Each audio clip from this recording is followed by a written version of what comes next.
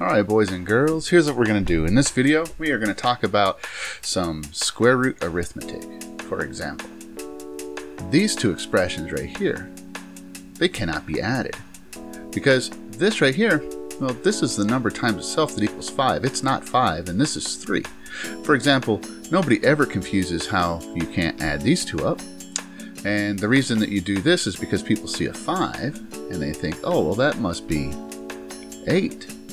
Well, that's true. This does equal 8, but this right here doesn't. Does not equal 8. Doesn't equal the square root of 8 either. Hmm. So the thing is, the rule of thumb is if you have a rational number and you want to add it to an irrational number, well, you can't. That's the closest you can get. That's as good as you can do. However, if you had something like this, well, that's a little tricky. Here's what people do all the time. This isn't right. It Doesn't equal the square root of 6. You see, turns out there's one of the square roots of 3 here and another there. That's 2 times the square root of 3. You see, these are irrational numbers. If you had pi plus pi, well, that would be 2 pi. If you had x plus x, that would be 2x. You see, we don't know what x is. We can't rewrite it another way. And pi, the most efficient way to write pi is with that symbol right there. Square root of 3, best way we have of write, writing the number that equals the square root of 3 is just with the symbol. So if we have 1 and we have another, well that makes 2.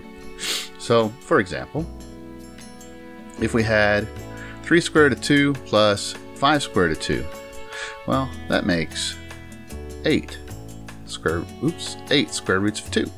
Yeah, just like that, you see? Um, watch, let's take a look at this right here. Let's say we had the square root of 3, and we had two of them. And let's say we had four more square roots of 3. Well, check this out. This right here means there's two of them, which multiplication is just repeated addition. So I have two of those right there. And over here, over here I have four. So let's see here. This would be four of them. So one, two, three, and, and sorry. I was going to say four and write four at the same time. Now, these are all adding right here. So if I count them all up, I have. So if I count them all up, I have one, two, three, four, five, six. I have six square root three. You see what you can do? You can add those multiples right there. Because these are the same. Those are the same thing. You have four of them, you have two of them, that makes six combined. However, if it would be different though, if it was like this, three times the square root of eight, plus 2 times the square root of 7. Because here, those are square roots of 8 and these are square roots of 7. You can't add those. So what about subtraction? Does it work any differently? Well, no, it doesn't. Turns out subtraction works exactly the same way. You're just going to subtract the coefficients. They're not really coefficients, but like, say 3 square root 11 minus 7 square root 11. Well, that would be 3 minus 7. That's negative 4. So there you go. Whereas this right here, 2 square root of 12 plus 3 square root of hmm, 3. Now, 3 and 12, square root of 3 and the square root of 12, they're not the same. However, this thing right here, it can be simplified. You see? Let's do some scratch work over here. Square root of 12, well that would be the square root of 4 times the square root of 3. And the square root of 4 is just, of course, 2. So 2 times the square root of 3 is what 12 equals. So what I'm going to do, I'm going to take that and substitute it right there. So I've got 2 times 2 times the square root of 3 plus 3 root 3. Now I probably could have done this in my head and just written a 4 right there. But I wanted to show you where it came from. So what we're going to do is we're going to go ahead and just rewrite this. And we're going to just put a 4 there. Alright, so that's going to be 4 root 3. This right here is going to be 4 times the square root of 3. So that makes 7 times the square root of 3. So sometimes you have to simplify these radical expressions to see if you have things that are the same.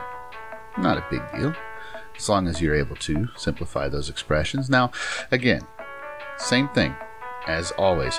When you have a square root like this, what you've got to do is you've got to factor that square root and look for the biggest perfect square. So, like, just for quick review, the factors of 96 are 1 and 96, huh, 2 and 48. Does 3 go in? 9 plus 6. Hmm, that's 15. 3 goes into 15, so 3 will definitely go into this 32 times, as a matter of fact. Uh, 4 goes in 24 times. 5 doesn't go in. 6. 6 does go in. Let's see. 16 times, I think. I'm doing these right off the top of my head, so, man, I don't even know. Does 7 go in? Nope. 8. No, yes, 8 does go in. 8 goes in 12 times. Huh, I should have known that. 9 doesn't go in. 10, 11, 12 is the next number that goes in. You see how these things repeat right here? That means I'm done. So the biggest perfect square hmm, that I have in my list right here, it looks like this is my biggest perfect square. Right there. That's my biggest perfect square, 16. So to simplify this, I would do the square root of 16 times the square root of 6. That's 4 root 6. Done.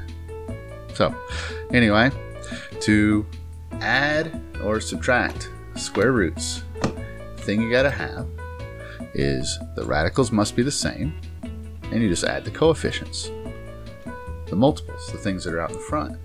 Now, it works a little different if it's something like this. Do you see? This is not the same as this. Those are totally different things. This right here, this is the square root of 6. This is 2 times the square root of 3. And those, yeah, they're not the same thing at all. So you got to be careful with that. Anyway, I hope this was helpful. If it was, you could just click like and maybe share it. You should visit the links in the description below. There's some practice problems, some more in depth uh, coverage of this topic and many others. And on my website, beardedmathman.com, there's all kinds of great, fantastic stuff. And feel free to visit my Patreon site as well. Anyway, thanks for watching.